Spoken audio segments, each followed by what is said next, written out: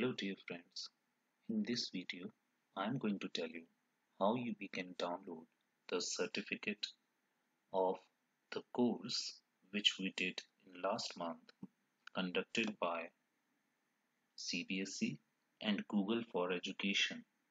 The course was named as Technology for Blended Learning. For downloading the certificates which are available from 20th April 2021 what you have to do is you have to just go on this website Google onto the search bar. You have to just search CBSE training portal and just enter it you will see that CBSE training portal site cbseit.in will be over there directly go to this to download e-certificate page.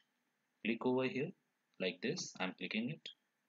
As you will click over it you will get directly go onto this page and on this sixth point because we have to click on the courses. The sixth courses are course participants of technology for blended learning. You will come on this page and the sixth course you have to click on this one let us click on this sixth point. The sixth course participants of technology for blended learning. I have clicked over it and you will get this uh, page where you have to enter the email address of CBSE which you got earlier. For example I am going to enter my CBSE email ID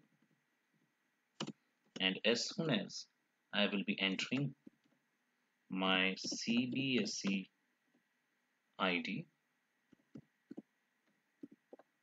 and uh, this security pin.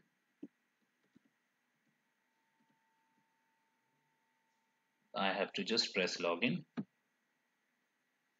See my name is Vinay Kumar so my ID is coming over here.